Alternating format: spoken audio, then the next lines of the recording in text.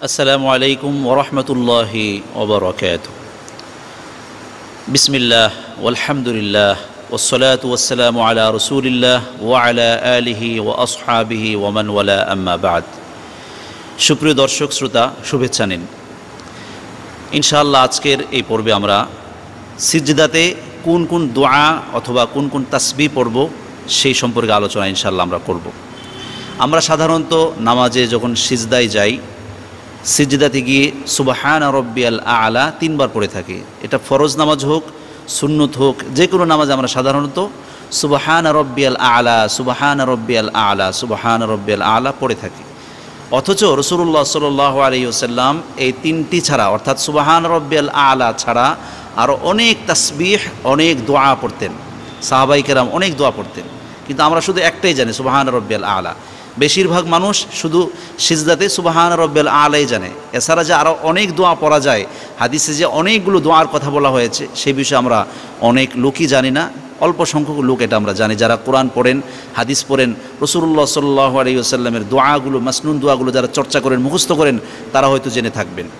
সম্মানিত দর্শক, আসুন জানি আমরা নবী করিম সাল্লাহ আলাইসাল্লামের হাদিস থেকে যে সিজদায় কি কি দোয়া পড়া যায়। হজরত আবু হুরাইরা রদিয়াল্লাহ আনহু বর্ণনা করেছেন, নবী করিম সাল্লাহ আলিউসাল্লাম বলেন, আকরবু মা আব্দুমির রব্বিহি ওয়াহুয়া সাজিদুন।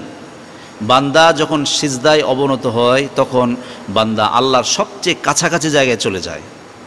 অর্থাৎ কোনো ব্যক্তি যখন সিজদায় পড়ে যায়, তখন বান্দা আল্লাহর সবচাইতে নিকটবর্তী, একেবারে নিয়ারেস্ট একেবারে করিব, খুব কাছাকাছি জায়গায় চলে যায়। সুতরাং ফাকসিরুদ দোয়া, ওই সময় বেশি বেশি দোয়া করো। কারণ যখন বান্দা আল্লাহর খুব কাছাকাছি জায়গায় চলে যায়, আল্লাহ এবং বান্দার ব্যবধানটা একেবারে কমে আসে, তখন বান্দা যখন আল্লাহ তালার কাছে কিছু চায়, আল্লাহ তালা দোয়া বেশি কবুল করেন। আর সিজদাতে বেশি বেশি দোয়া কবুল হয়। কোরআনুল করিমের সুরাতুল আলাকে বলা হয়েছে, ওয়াসজুদ ওকতারিফ সিজদা দাও, আল্লাহ নিকটবর্তী হয়ে যাও। আর এই হাদিসটি রয়েছে মুসলিম শরীফে। তাহলে এই হাদিসের শিক্ষা হচ্ছে এই, আমরা যখন নামাজে সিজদায় দাব সিজদাতে বেশি বেশি দোয়া আমাদেরকে করতে হবে। যারা দোয়া কবুল হোক, এটা চান, তাদেরকে সিজদাতে গিয়ে বেশি বেশি দোয়া পড়তে হবে। প্রশ্ন হচ্ছে, কি দোয়া পড়ব?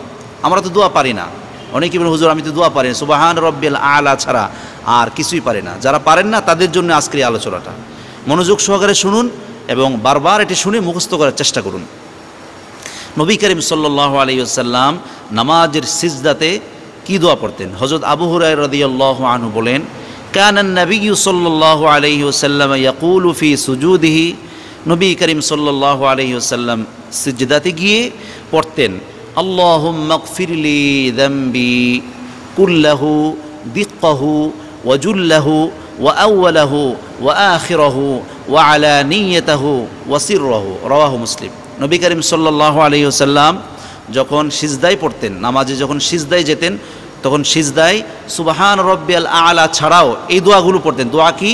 আল্লাহ মকফিরলি জাম্বি কুল্লাহু দিক্কহু ওয়াজুল্লাহু ওয়াউলাহু ওয়াখিরহু ওয়ালা নিয়তাহু ওয়াসিরহু আরেকবার পড়ছি আল্লাহ মকফিরলি জাম্বি কুল্লাহু, দিক্কহু, ওয়াজুল্লাহু ওয়া আউ্লাহু ওয়া আখিরহু ওয়া আলা নিয়তাহু এর অর্থ হচ্ছে, হে আল্লাহ, মাফ করো তুমি আমার সমস্ত গুণা, সব গুণা মাফ করে দাও। সিজদাতে গিয়ে আমরা কি বলছি? আল্লাহ ফিরিলি র্যাম্বি কুল্লাহ, হে আল্লাহ, আমার সব গুণা মাফ করে দাও।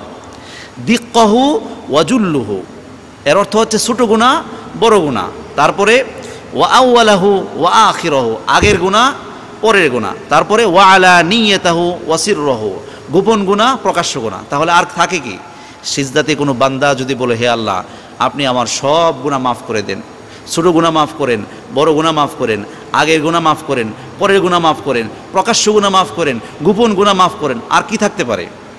এমন সুবর্ণ সুযোগ আমরা যেন না, আমরা যেন হাতছাড়া না করি। দোয়াটি কি? আল্লাহ মকফিরলি দ্যাম্বি কুল্লাহু ওয়া ওয়া আখিরহু ওয়া আলানিয়াতাহু ওয়া সিররহু এই দোয়াটি। এটি একটি দোয়া।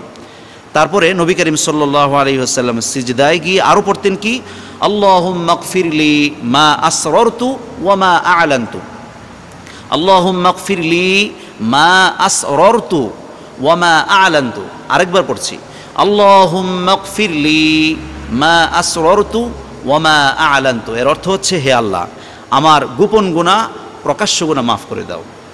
অর্থাৎ একটু আগে যে দোয়াটি পড়েছি পড়েছি, এটা যদি কারও কাছে বড় মনে হয়, কষ্ট মনে হয়, মুখস্থ করা কঠিন মনে হয়, তাহলে এটি শিখে নিন আল্লাহ মকফিরলি মা আসরতু ওয়ামা আলান্তু। হে আল্লাহ, আপনি আমার গোপন গুণা প্রকাশ্য গুণা মাফ করে দিন। আল্লাহ মকফিরলি মা আসরতু ওয়ামা আলান্তু। হজরত আলী রদি আল্লাহ আনহু বলেন নবী করিম সাল্লাহ আলী আসাল্লাম যখন সিজদা করতেন তখন সিজদায় গিয়ে তিনি এই দোয়া পড়তেন اللهم لك سجدت وبك آمنت ولك أسلمت سجد وجهي للذي خلقه وصوره وشق سمعه وبصره تبارك الله أحسن الخالقين رواه مسلم এবার অনেকেই বলবেন, হুজুর, এত বড় দোয়া কীভাবে মুখস্থ করি? একেবারে সহজ, আপনি যদি প্লে স্টোরে গিয়ে গুগল প্লে স্টোরে গিয়ে হিসনুল মুসলিম হিসনুল মুসলিম এই বইটি যদি আপনি ডাউনলোড করেন, এই বইয়ে সবগুলো দোয়া আছে। এতক্ষণ যে দোয়াগুলো পড়ছি এবং সামনে যে দোয়াগুলো বলব সবগুলো দোয়া হিসনুল মুসলিম নামক ছোট্ট একটি বই, এর মধ্যে সবগুলো আরবি, আরবিতে দেওয়া আছে, আরবিতে উচ্চারণে দেওয়া আছে, অর্থসহ দেওয়া আছে। দোয়াটি কি? আল্লাহম্মালাকা সাজাত্তু অবিকা আমান্তু, ওয়ালাকা আসলামতু, সাজাদা ওয়াজহিয়া লিল্লাযী খলাকাহু ওয়াসাওয়ারাহু ওয়াশাক্কা সামআহু ওয়াবাসরহু তাবারাকাল্লাহ আহসানুল খালিকিন, রাওয়াহু মুসলিম। এর অর্থ হচ্ছে, হে আল্লাহ, আমি তোমার জন্য সিজদা করছি, তোমার প্রতি ইমান এনেছি, তোমার জন্য নিজেকে সঁপে দিয়েছি। আমার মুখমণ্ডল সিজদায় অবনত হয়েছে সেই সত্তার জন্য যিনি এই মুখমণ্ডল সৃষ্টি করেছেন। আমাদের মুখমণ্ডল সৃষ্টি করেছেন কি? আল্লাহ। তারপরে এবং উহার আকৃতি দান করেছেন যিনি, উহার কান এবং চোখ খুলে দিয়েছেন। যদি আল্লাহ তালা আমাদেরকে অন্ধ করে দিন চোখে যদি কিছু না দেখতাম, যদি কানে কিছু না শুনতাম, তাহলে কিছু করার ছিল না। কোনো ডাক্তার, কোনো চিকিৎসা বিজ্ঞানে আমাদেরকে সুস্থ করতে পারতেন না। সেজন্য নবীজি দোয়া করতেন যে, হে আল্লাহ, আমি তোমার জন্য সিজদা করছি, তোমার প্রতি ইমান এনেছি, তোমার জন্য নিজেকে সঁপে দিয়েছি এবং আমার মুখমণ্ডল সিজদায় অবনত হয়েছে, সেই সত্তার জন্য যিনি এই চেহারা সৃষ্টি করেছেন, এই চেহারার মধ্যে চোখ দিয়েছেন, কান দিয়েছেন। এমন মঙ্গল, মঙ্গলময় আল্লাহ তালা শ্রেষ্ঠ সৃষ্টিকর্তা তাবা রকাল্লাহ আহসানুল খালক, এই দোয়াটি।